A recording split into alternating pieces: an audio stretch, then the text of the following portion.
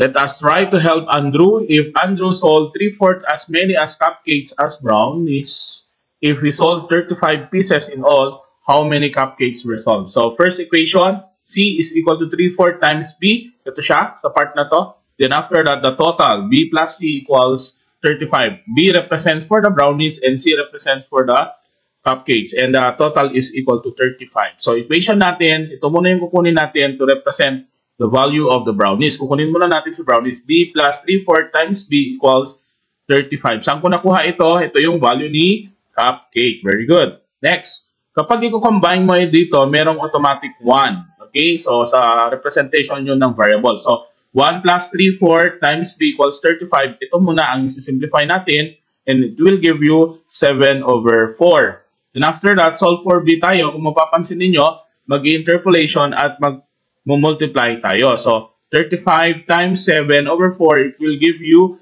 a product of 20. So, ito na yung sagot sa brownies natin. Then after that, multiply lang natin yung equation ni cupcakes, which is 3 4 times b. Okay, so 3 4 times b is equal to, pardon me, this is equal to 4.